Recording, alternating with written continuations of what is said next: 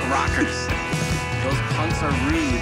The Mekons, as a collective, to last as long as they have and still embody the ideals that they started with in 1977, there's no comparison. There's no other band like them. I don't think there's ever been a rock and roll band who's had a run of albums as good as them and are still making possibly their best records. Each one you think like, God, this might be their best record. And how could they do that after you know, 30 years? It's astounding.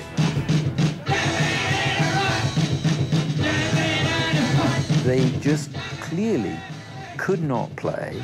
We were a bunch of art students when we formed. We weren't musicians, and it was an art project, basically. It was an experiment.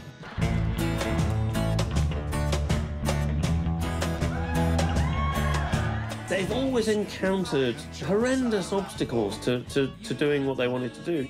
It's the curse of the Mekons. If you haven't got a record label and you haven't got any money, kind of that is the end of the story usually for a band. But we just wouldn't we wouldn't lay down and be dead. Sorry, I've forgotten the words. What is it?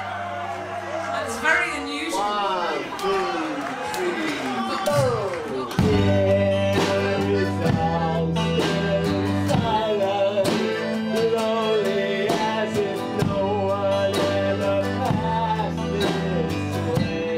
If you feel like the inheritor of a very embattled critical stance while the rest of the world is going over to the dark side, um, they're the band for you.